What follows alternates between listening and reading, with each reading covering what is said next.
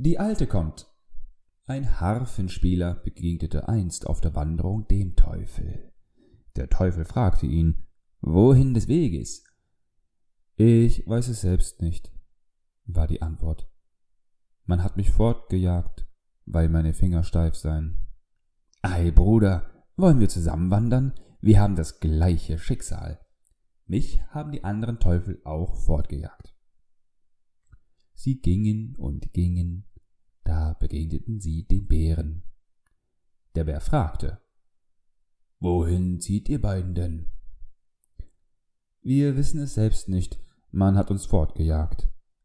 Ei, Brüder, wollen wir zusammen wandern? Wir haben das gleiche Schicksal. Mich haben die anderen Bären auch fortgejagt. Sie gingen und gingen, dann beschlossen sie, sich ein Haus zu bauen. Gut, sie bauten sich ein Haus aus und brauten Bier, ein volles Fass. Plötzlich aber bemerkten sie, dass das Bier im Fass immer weniger wurde. Was nun? Sie machten miteinander aus, das Fass zu bewachen. Der Bär übernahm die erste Wache, indem er sich neben dem Fass hinhockte.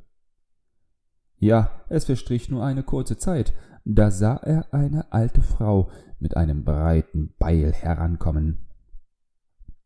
Nun brach der Bär einen Baum ab und schleuderte ihn auf die Alte, aber zum Unglück trafen sie nur die Zweige.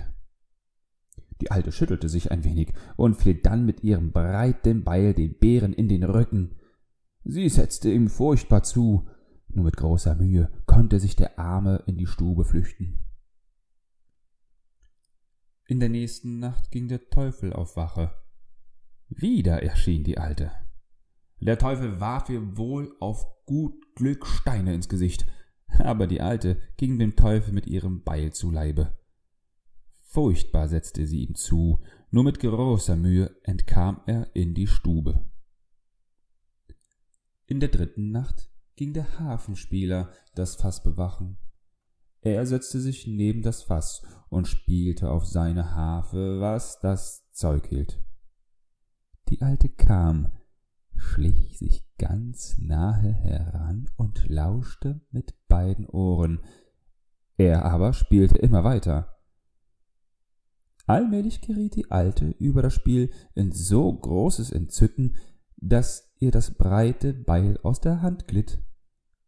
Eilends griff der Hafenspieler nach dem Beil, zerhackte die Alte, schob sie unter die Schwelle und legte sich schlafen.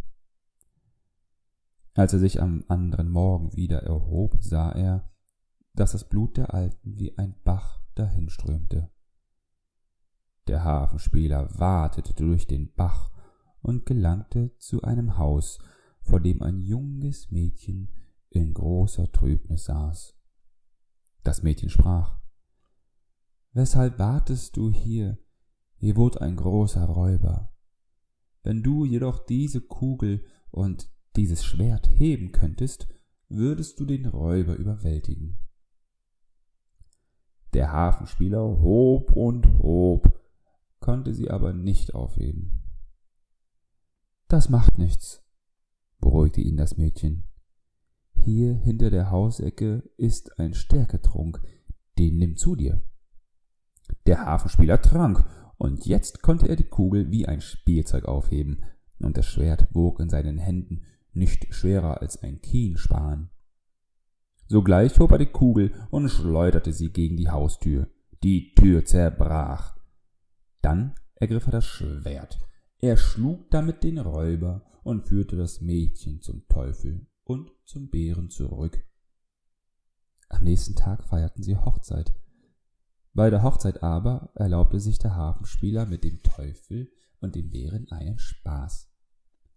Er schaute zum Fenster hinaus und rief Oh, die Alte kommt. Der Teufel und der Bär dachten Verdammte Alte, jetzt kommt sie wieder, uns umzubringen. Und so machten sie sich aus dem Staube. Jetzt lebte der Hafenspieler mit seiner jungen Frau allein im Haus.